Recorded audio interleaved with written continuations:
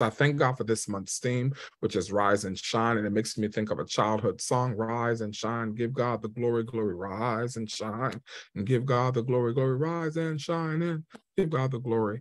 Uh, so it made me think of that. And I just, you know, when I was younger, I just thank God because there was a community of praise all the time. And you knew if you're part of a Christian family, a Christian community, you just knew it. And, and that joy that we have. And I just pray that people start experiencing more of God's joy. People compartmentalize serving God so much these days. It's hard to feel that energy from folks that are actually praising God all the time. And I just thank God for joy this month. The joy of the Lord is our strength. And so we're going to explore this theme this month, rising and shining. God is talking about morning. God is really going to get personal in our business and what's happening in the morning time in our lives. And so and he's giving me ideas and thoughts already for this month. And I thank him for that. But just know that God wants to really come and strengthen us and the encouragement that we rise and shine and giving God the glory as we witness God's glory, but we bring God's glory when we yield ourselves to Him. So I'm grateful this morning and truly, truly just pleased to be in your presence, but in God's presence as well. So let's explore the Word of God today as we look at Rise and Shine. And um, this week, of course, what's been on my mind a lot, uh, those that you know, my father passed away about five years ago now, exactly five years ago. Uh, and so my thoughts this week have really been in, in prayer. I've been uh, coming out of a consecration, but just staying focused on prayer in particular, because there's been so much to happen since my father has passed away. And you just don't know what happens when death comes into a family, the death of a father. And so I've had my personal journey. It's really been personal, private with the Lord. And it's been wonderful because I've learned a lot. But I've been thinking a lot about my dad, uh, what he is, what he did in his life which is incredible, the things that he exposed us to as a family, and just very grateful that although my father had his challenges in his uh, 20s, 30s, running from God, he, he made sure that we knew God. And that's the best gift. And you all have heard me say that as a parent, is to give your children Jesus. If you give them nothing else, you better give them Jesus. People focus on giving them clothes, giving them uh, schooling, giving them this, giving them that, but giving your children Jesus is the best thing. And I'm so grateful that my father was a strong man in that regard our, our household um, served God continually. There was no break in that, even when he struggled himself uh, with his faith. And so I thank God for my dad.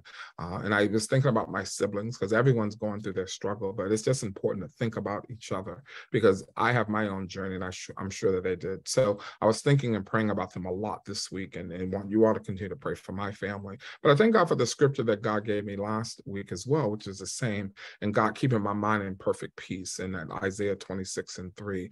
And I am just encourage you all that challenged by different things, just to pray for God to keep you in peace as you're even going through realities of life. And again, I'm human like everyone else, and and I go through. And so I thank God that He's been there continuously, asking me, "Are you okay?" Checking in, what's going on. Uh, he's been so consistent, and I thank God for the morning scripture from co-pastor today, because again, God has been there, and He's a God of His promises, and He is not uh, fell short of his promises. So I just thank God this week and I ask you to continue to pray for me, pray for my family, pray for my mother. Again, uh, everyone is still on this journey of the absence of my father. And so I thank God uh, for you all, and I thank God for for prayer. So continue to pray for us in that regard. And so as we get into today, today's message, I just want to offer prayer for us today. Uh, and again, I pray that this message really just goes in and really be that foundation that we need for this month. Uh, and Father, we just thank you again for the opportunity we have to come to you, to be in fellowship with one another and fellowship with you. And we just pray, oh God, that you would allow this word to really settle in our spirit today Uh, and really set us up for this month. We do have a great expectation that you will do exceedingly and abundant above all that we can ask or think.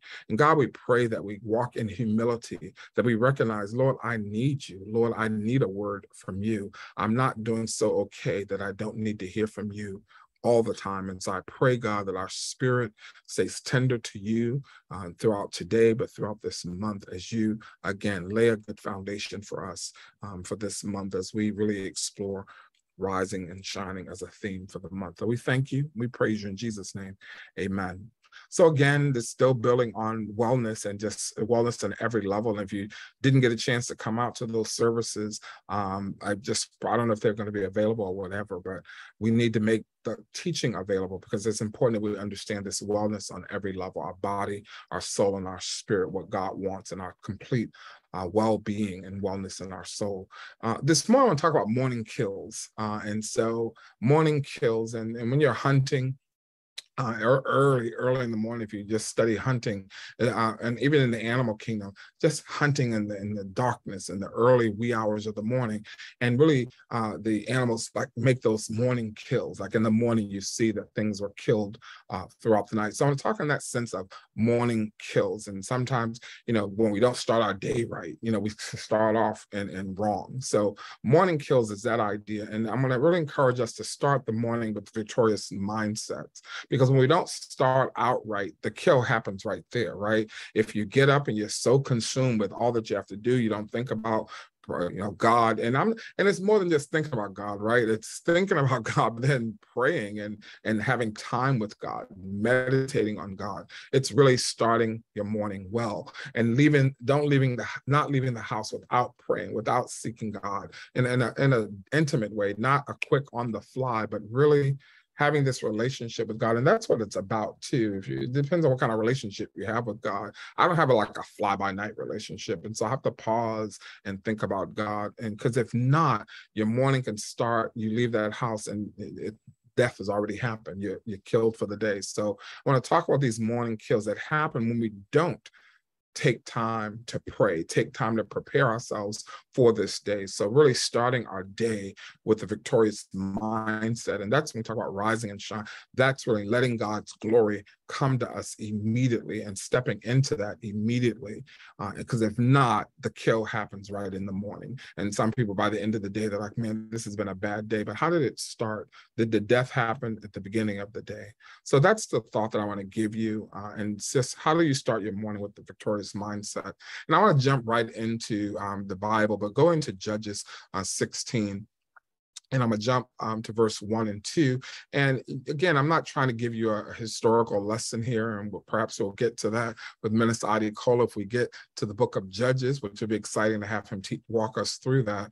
But you all know the story of Samson, known for his great strength, doing great exploits for God. But I want to go back to that story and the life of Samson, just to draw some things out as we consider this topic today.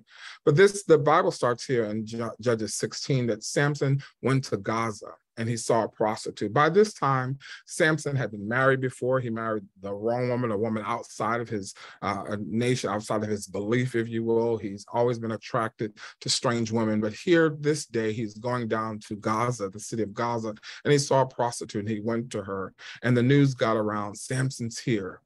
And many gathered around, hiding, waiting all night for him at the city gate quiet as mice, thinking at sunrise will kill him. And there are many of us that are, are, saved, that, that have callings on our lives, there's specific things God wants you to do. But you need to know the enemy is around us because the enemy does not want us to execute on the things of God. And so there are many times the enemy could be gathering around us and he could be in hiding. And for me, knowing that my calling on my life, I expect that the enemy is waiting. I expect that he is. And the Bible lets us know he's always lurking about. You know, when God talked to Cain, he's right there crouching all the time, just hiding. And the enemy will somehow will wait for you all night. And that's the thing. Many of us are walking around not in obedience to God, but you're kind of slipping and going away but the enemy is just watching us, watching our patterns, and he will wait. Talk about patience. You pray to God for patience, but the enemy is going to be patient. But again, as Samson was there, they heard that he was there, this, this strong man of Israel that kept defeating them. And so they didn't like him at all, right? And he was, you know, right, he was born and raised to be a deliverer of the children of Israel. So he, they when he came, they gathered around, they waited all night for him, quiet because they wanted to at sunrise to kill him. So I'm going back to this idea of being killed off in the morning. The enemy wants to get us in the morning. And this is the case here with, with Samson. They wanted to kill him in the morning. And that's that morning kill. So the enemy will just let you do what you want to do, but he hopes to defeat us in the morning. So this idea, what happens before the morning, how we prepare, how we live, how you even go to sleep, all of that is part of what goes into how you wake up in the morning. Where's your mind in the morning? And the enemy is looking to kill you. And that's what morning kills. And many focus on the nighttime attacks, but you really think about the enemy attacking in the morning. So people like to preach and talk about being in the clubs and being out at night in the darkness. All of that is true, but it's important also to understand the enemy also can attack you in the morning time. The enemy doesn't want your day to be good. He doesn't, it's not, he's not trying to wait till Saturday night for you to go to the club. He wants to stop, stop you right on Monday morning. So don't focus just on nighttime attacks, but think about morning attacks. How does the enemy get me in the morning time? Your attitude, you, your attitude can show up right in the morning, and we should just pause and get your attitude in check because you woke up and you have a bad attitude. You're you're angry, you have anxiety, you're rushing, and and we our behavior kind of shows itself early in the morning, and we should be checking ourselves in the morning. And so that's why praying and having time with God as a discipline is important because if you start with God, you're going to start out okay. The truth is, many times we just don't do that, right? The attacks can come in the morning time. And so during that time, um, he was with that prostitute. He also went and he found Delilah at some point. You all know the story. And Delilah's like, What's your secret? And, and these men of the city, because they were waiting, they wanted to, to kill him, they wanted to destroy him. They're telling him, Hey, what is going on? Ask him. They paid her, ask him, find out what his strength is and where, where it lies. And he told Delilah, three different things and it just wasn't true as she tried to find out his strength. And so she was frustrated at this point. We'll get to verse 16. It says, and so she pressured him day after day with her words and pleaded with him. He was annoyed, so annoyed. Then finally he told her everything that was in his heart. Listen, men, everything that was in his heart. And he said to her, A razor has never been used on my head, for I've been a Nazarite to God from my mother's womb. If I am shaved, then my strength will leave me, and I will become weak and be like any other man. Pay attention to this verse. So the enemy will lurk around you. He'll try to get us in the morning. And the goal, he wants to take away your strength. And many of us are walking around now, but are you really strong in the Lord? Or have you become weakened because you've been neglectful? Here we are in, in, August. Have we been obedient to God? Are we doing, are we growing towards God? Are we growing with God? You know, because sometimes you can't tell. I'm okay. I'm going to church. Yeah, I'm doing all the right things. I'm checking in the midweek service and this and that. But am I really secured and growing in God? Or have I been weakened? Has the enemy been lurking around me? And is he drawing from me? Is your strength being drawn from us because of things that we may have become engaged in? Right? But he finally told her what was going on. And so this nagging, I want you to think of nagging. And I, I don't want to have a picture of a woman, um, a wife nagging a husband, because we have an issue with that. She's a nag, she's a nag. But I'm not talking about that. I'm talking about a diff- nagging as a definition is harassing someone to do something persistently, painful, worrying, like pestering someone. Like a child could keep, mama, mama, mama, can I, can I? And it just kind of gets, and people say gets on your nerves a, as a term, but it wears on us mentally. It's stresses us. And so when people are just constantly coming at us, like, do this, do this. And so that's what Delilah was doing. Tell me what it is. Tell me what you say you you really love me and, and you don't. And the enemy uses that line when people are in the in the wrong relationship, that term, if you really love me, you'll do this. If you really love me, you'll do that. And they do things, remind folks, yeah, I love you, but I love God more. Don't put put the love of others higher than God's love because people have you doing all kind of crazy things. And so that's what she was doing, pressuring him. And what it turns out, and we're familiar, it's a tormenting spirit. She tormented him like all the time, like tell me. And that's what becomes physical. It's like mental suffering. And it's like that's like he finally broke and said, "This, well, this is it. I, I'm a Nazarite, okay? I'm a Nazarite, and no razor has ever touched my head. And again, if I am shaved, then I will become weak like other men. So understand this, this tormenting spirit, and the enemy will torment us.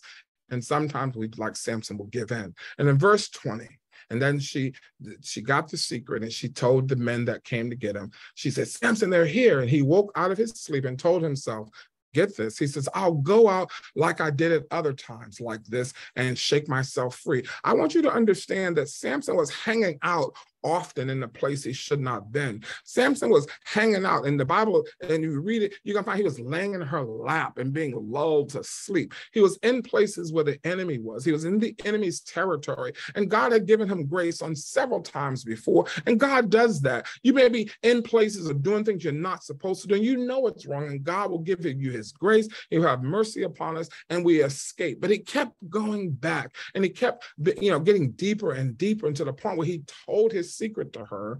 And all of a sudden he says, Hey, I'll just do what I did before. And many times we think that we can just jump up and do what we always do. But as he found out in this last part of this verse, it says, But he didn't know that the Lord had abandoned or departed from him. And that many of us have been walking in disobedience for so long, you don't realize that you don't have the power of God. You may think you do, but the reality is we are not powerful in the Lord because God's spirit has left us. And that's what happened with Samson. He was just enjoying his life, you all. And many Christians, believers, and, and you may be out there, you're yeah, I'm saved, but you're doing your own thing. And be careful with that because you might find yourself without power and getting up in the morning and you have no strength. And he thought, I'm okay. And many times you might think you're okay, but you might not be if you have not been in the places of God.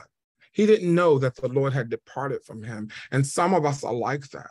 You don't realize you don't have any more power because you have lost your anointing. And so you're getting up with nothing. People are getting up in the with nothing because you something has happened. I want you to understand that what happened here with Samson that caused him to get up with nothing. You don't want to find yourself getting up with nothing. And he got up with nothing. Charles Spurgeon says this. He says, Now there are a thousand razors with which the devil can shave off the locks of a consecrated man. That's what I want you to hang on to. God, we are to be holy unto God, consecrated for his use. Samson was consecrated. This is it consecrated, separated unto God for God's use, right? And says Samson is sound asleep. So clever is the barber that even lulls him to sleep, and his fingers move across his uh, pate and the fool's pate, which is in making bare. The devil is cleverer far than even the skillful barber. People think you're smart, but the devil is skillful. The Bible says he is he is smart, he's intelligent. We're not ignorant of his intelligence, but he is intelligent. He can shave the believer's locks while he scarcely knows it. Samson didn't even realize what was happening. And I want you to have this relationship that he was having with this woman, this relationship that he was having, ungodly relationship was leading him away from what? His relationship with God. And be careful of your relationships is it leading you away from God? Because that's what was happening. As a consecrated man unto God, he had this routine and, and relationship with God that he should have been attending to, but something else had gotten his attention. And we know that he has this desire and he's spending more time, he's allowing himself to be lulled and seduced and has building relationship on the other end. So this consecrated life that we're supposed to have, if you don't honor that, then we will become weakened, just like Sam's, and you won't even un- see it happening because it's so subtle. It's like stealing sand from the beach, but eventually the beach ends up bare, and that's what happened. You'll get up with nothing.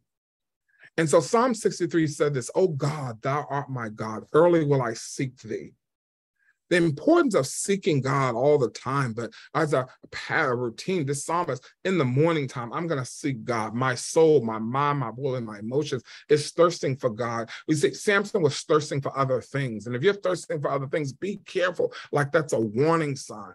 If our flesh is longing for other things, we have to long for God. And when you're consecrated to God, dedicated to God, then seeking Him is something we do. This is how we avoid waking up empty. You have to seek God. And that so when you wake up in the morning, Lord, fill me up, right? Early am I going to seek you. I want my soul to be just, just saturated with thee. I want my flesh, hallelujah, to obey you and walk in obedience. And therefore I want you. And so this idea of a disciplined life of early seeking God, which is one way to avoid not waking up empty. And when this happens, I this desire, I want to see God's power and glory. And that's what we want to witness God's glory. You want to see God's power and glory in your life for real, as they say, for real though, then you need to seek God. There's no way you're going to see this dramatic power and glory of God without desiring it or seeking it. But this is why I seek God early. This is why I'm consistent. This is why I want to be strengthened in my pursuit of God because I want to see his power. I want to see his glory. I want to see him in the worship. I want the power of God to be very evident in my life. I do not want to wake up enemy empty. And so we have to wake up, and some of us need to wake up. And Isaiah 52, awake, awake, put on strength. And we're not putting on strength. Part of our strength, prayer is a strength, a protective factor. God's word, learning it, reading it, memorizing, it's a protective factor. It is putting his word inside to stand against things that may try to come inside my mind. It's filling my mind with the things of God, consecrating on God, thinking on his word, meditating on it day and night. So we have to wake, and some of us need to wake up and put on your strength. And some of you, us know that we're not walking in strength. You could be stronger in the Lord by doing more in the things of God to make you strong. Put on your praise, put on the worship. We have to really signify that I'm consecrated to God. Y'all, much as you desire to be like everyone else, you're not like everyone else. You are holy, you're peculiar. I'm sorry, Samson, you have those locks on your head, but it's not just about those locks, sir. It's about the way you should be living, Samson. And when the enemy sees that you're living a away from God, that you're falling away from God, he's going to see where the weakness really is. And the weakness is in this life that's not consecrated to God because our protection comes, the covenant comes because of the consecrated relationship. And if we give that up, then we're giving up the protection of God and we wake up empty. So awake, hear me today. Awake out of your sleep, wake up. Ephesians 6 says, put be strong in the Lord. So putting on your strength right? Be strong in the Lord in the power of his might. We know about this armor. Put on the whole armor of God right? Not just pieces of it, put it all on completeness. And only that's the only way we stand against the devil. You can't leave any opening for him because if you do, he's going to come in and he's going to take us out. So put on the whole armor of God. And the, then verse 18, this is a piece that I love. People like talking about the armor, they describe it, but verse 18 is important. Praying always with all prayer and supplication in the spirit. Not just offering up, hey, God, just cover me for today. Hey, God, have your way. No, be really spiritual and, and have your prayers influenced by God's spirit. Spending time. You can't just say what you want to say, but do you listen to God in prayer? So praying always with, with supplication. And it says watching. We have to spend more time watching. Samson wasn't watching his life, he wasn't guarding his life well. Guard it with perseverance. You have to persevere in this. You have to be committed to watching your life to ensure that you are growing towards God and not growing away from God. Watching is something we don't do, but you watch and so that you don't wake up empty. When we do this, this is how you're preparing for your day. When you're praying in the morning, when you're putting on the armor of God, when you're praying with prayer and supplication, when you're watching and persevering, this is what you do to prepare for your day every day, not just when we're in trouble, but every day we need to do this because sin is there. Samson was enjoying sin, and that is many, our flesh desires sin, right? And so many are living in a paradox. You're living in this contradiction. Yes, I'm saved, but I'm doing all these other things. Look, are you saved or not? Do you want God or not? That's that contradictory life. You can't have that. You're living in a paradox. Samson's living in a paradox. Here you are as a Nazarite, but yet you're coming, you're getting hooked up with strange women. You're, you're spending time in places where God is not. That's a paradox. Sir, you're supposed to be saved. Don't have you ever, ever said, I thought you were in the church. They see you doing something. They say, Oh, I thought you was part of the church. You know, living in contradiction. On one hand, you want to do great things for God, and on the other hand, people are yielding to sin and, and walking in deceitfulness right? And so people see one thing on the outside, oh my God, yeah, that man, he's really saved. He goes to church, he's very holy. But on the inside, something is happening inside of your heart. Something was going on in Samson's heart. Make sure there's nothing going inside of you. Man looks on the outside, but God looks on the inside. God knows what's there. That's why it's important for us to come before the Lord to say, Search my heart. You find things that even hidden from us. The Bible, scripture lets you know that thing, our heart is so deceitful, it, it keeps things from us. But God knows. And so inviting him in, search my heart, search the depths of my desires, and being honest and open with God. Because people are living one thing, but on the inside, there's something else going on. And if you're out there today, I'm saying be careful of a morning kill in your life. Don't be enjoying the pleasures of sin because the enemy will lead you to death a morning kill and you think you're okay, but you're not. So this is a morning we said, Lord, I don't want to experience a morning kill. And so that's Romans 12, 1 and 1, uh, 12, 1 and 2. Fully submitted and committed to God. I was in prayer this week with the faith community, and we are talking about you have to be 100% committed to God. God doesn't need your fleshly sacrifice. There's no other sacrifice that can be made. What we give is ourselves as a living sacrifice. And through worship, that's what God wants it all, not just pieces of us, but God wants it all. And this idea, Samson, what was going on? Why are you loving like ungodly women, women that are not that following God? What where does this love comes from? And how did this happen? And how can it happen for you and me when our hearts become divided? If something was in his heart. Proverbs 4 and 23 says, Be careful for how we think. Above all, that we guard and protect your heart. And he wasn't protecting his heart. You and I have to be careful. Protect and guard your heart. Be careful what you connect with. Be careful who you connect with. Be careful what kind of things you think on and meditate on. Because those are the things that will run our lives. Our life flows from the things that are in our heart. And there are things that are in Samson's heart. He was a Nazarite, you all, committed and consecrated to God, committed to a relationship with God, but he was leaving that because something was had gotten in his heart. And that's why be careful. Lord, keep, keep my heart clean. I don't want anything to get in because the enemy does this subtle takeover. And you think you're doing okay, I'm a Christian, but something's in your heart causing you to do other things. And those morning kills just keep happening over and over. And so his hair was a symbol of consecration understand that it, it wasn't his hair that was his strength, but his hair was a symbol of this consecrated life. And it goes back to his mother in, in, the 13th chapter of Judges, right? When God said, He shall be a Nazarite, no razor touching his head, except, but it was a whole consecrated life that he was committed to. And he was committed to that because he was living that because his hair was a reflection of this consecrated life, of this Nazarite life. But he broke his consecration with God. And that's what we do. We break our consecration consecration with God because we try to mix it in with other things. And Samson thought that he can do that, but we see clearly he broke his consecration with God. His hair was a pledge of God's favor, God's grace in his life, but he broke his consecration. So these prolonged, extended relationships with Delilah, with sin, caused him to break his consecration with God and caused him to live in compromise. And when you live in compromise for prolonged periods of time, it has consequences. So eventually, eventually it broke this consecration because he shared with her everything, the depths of his heart. I'm a Nazarite and I live before God. This is what I do before God. But he wasn't doing that. He was in her lap and he just shared everything. And, and she knew, and because he told her everything, that I cut off these locks he became weakened because his consecration was finally severed after he gave his total heart to this woman who was never in love with him. She was being paid from the beginning. And that's what the enemy will deceive us. And you'll think that you're doing good stuff. You think that people love you, but they will leave you hanging like Delilah did here. So the consecrated life is the strength. Our strength, you all, is in our relationship with God. And you have to build your relationship with God, build your life with God more than anything build it with through prayer, through God's uh, word, through worship. This, your strength is in your relationship with God. Get ready to get up. That's what as we move into the remainder of this year, God says we need to awake. Get ready. It's time to get up. It's time for you to move further into the things of God and start doing more for God that His glory can be revealed. So, an encouragement for this our community is to get ready to get up.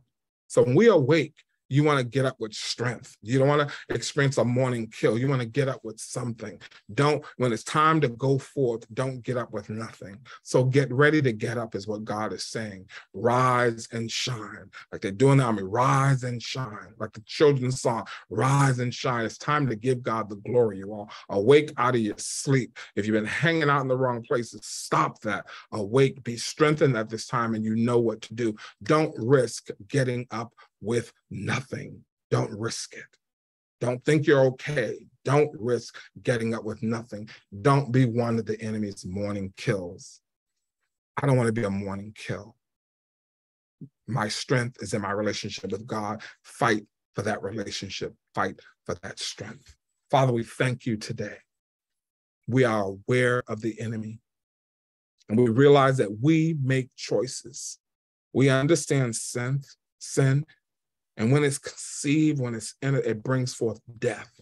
And we see this even in the relationship with Samson as he prolonged and extended his time in the pleasures of sin.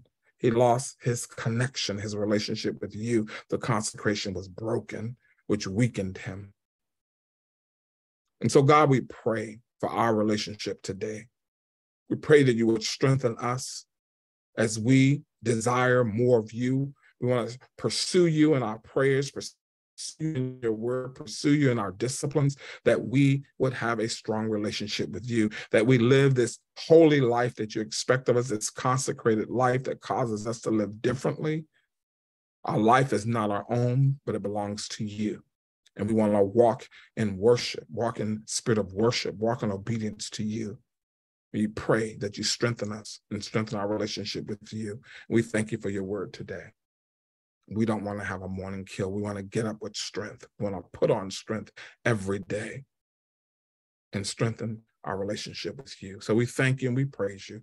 In Jesus' name, amen.